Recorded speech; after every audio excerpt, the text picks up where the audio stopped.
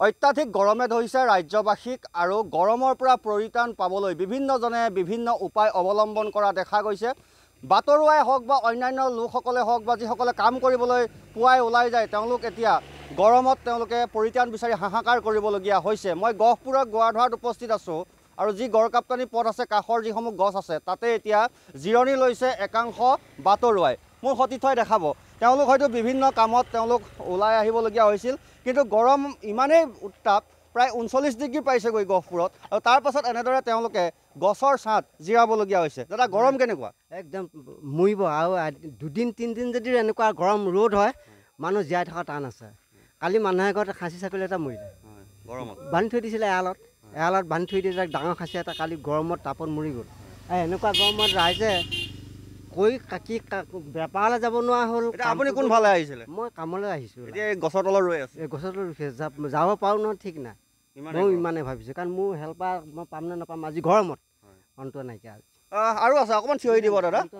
গৰমে কেনেদৰে ৰহিছে আপোনালোক? আমি এতিয়া বেপাৰত ওলাই আহিছোঁ এতিয়া বেপাৰ কৰিব পৰা নাইকিয়া এই গছৰ তলতে বহি অকণ জীয়াইছোঁ আৰু। বহুত গৰম। কিমান দিন হ'ল এনেদৰে গৰ- গৰম? এই এসপ্তাহ বেছি হৈ গ'ল আৰু। হয় এ, ক'ৰবাত যাবলৈ ওলাই আহিছিলে? আমি বেপাৰলৈ ওলাই আহিছোঁ। এতিয়া? এতিয়া এতিয়া ঠাণ্ডাত অকণমান জিৰণি লৈছোঁ। উপায় নাইকিয়া হৈছে? উপায় নাইকিয়া হৈছেগৈ আৰু। কি কৰিব আৰু? এই বেপাৰ আহিছোঁ আৰু জিৰণি লৈ লৈ আৰু গৈ থাকিবলগীয়া হৈছে আৰু। এক কিলোমিটাৰো যাব পৰা নাই এতিয়া বৰ্তমান। হয়। হয় নিশ্চয়। অঁ দাদা আপোনাৰ ওচৰলৈ আহিছোঁ। আপোনালোক বিভিন্ন কামত ওলাই আহিছে। দেখিছোঁ সকলো গছৰ তলত এনেদৰে জিৰাই আছে।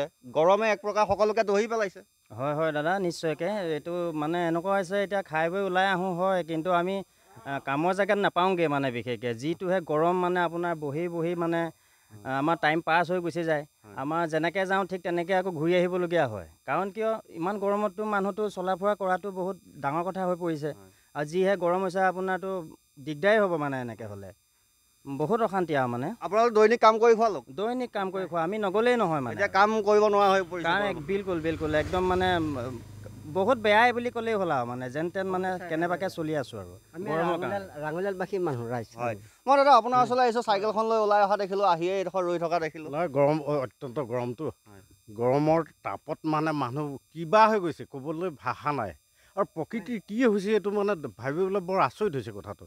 এনেকুৱা বতৰটো কি কোনোবাৰ নহয় হয় জানো? আৰু এতিয়া এই বছৰ আপোনাৰ এতিয়া যথেষ্ট বয়স হ'ল। হয়।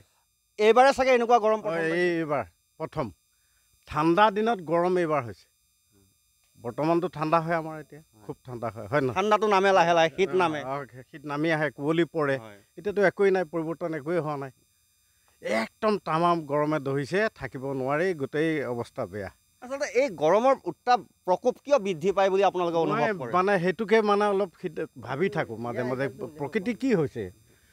চেঞ্জ কিয় হৈছে? ইমান অত্যন্ত চেঞ্জ হৈছে। কাৰণটো কি? মানে ভাবিবলৈ বৰ টান লাগে। গছ বনবিলাক কাটি মানুহে তহিলং কৰাৰ কাৰণ হ'ব পাৰে নেকি?